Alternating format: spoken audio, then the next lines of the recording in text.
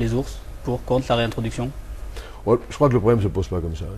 Je crois que le, le problème se pose en termes de biodiversité. Euh, et je- on ne peut pas ramener la biodiversité uniquement euh, à l'ours, ce serait un peu, un peu, un peu Mhm. commode, un peu facile. Je pense qu'il y a eu tellement de maladresse de commises euh, par une réintroduction sans concertation, sans, sans débat. Tout le monde sait qu'il faut un débat long, qu'il faut une concertation, qu'il faut en- s'en entretenir avec ceux qui vont vivre avec ou ceux qu'on prive. Regardez le débat sur l'eau. Il est la même chose, la manifestation des agriculteurs d'hier. On ne peut pas trancher comme ça. Euh, oui, il faut économiser l'eau. Bien sûr, il y aura des réductions d'eau. Les agriculteurs, ils le savent. Mais on ne peut pas, du jour au lendemain, leur dire eh ben, vos consommations, elles vont baisser de 30 à 70% C'est pas sérieux, ils sont dans la rue. Il, en a été de même pour le problème de, l'ours, où euh, ces, décisions venues de- d'en haut, comme ça, euh, tombées du ciel, imposées à des gens qui vivent là, ça tourne au conflit. Euh, c'est aussi comme le, TGV sur, euh, sur la Haute-Garonne et sur le Tarn-et-Garonne.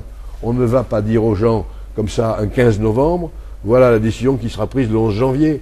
On se donne le temps de discuter. Et il y a là beaucoup trop de technocratie sous, sous couverture politique. La politique, c'est autre chose. C'est respecter le citoyen. C'est quand on prend un engagement, le tenir, le conduire jusqu'au bout, c'est avoir le respect de l'autre. À la limite, c'est se mettre à la place de l'autre.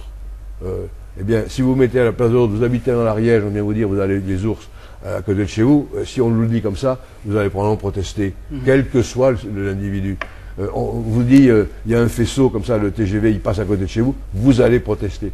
C'est naturel. Et, et vous êtes agriculteur, vous avez investi, on vous dit, ne consommez plus d'eau, demain 30 à 70%, vous allez protester, vous et moi.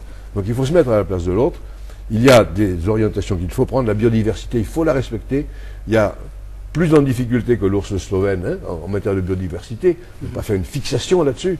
Et, avoir sur les autres politiques de développement, d'environnement durable, une politique plus, plus, plus, plus à l'écoute et à l'approche.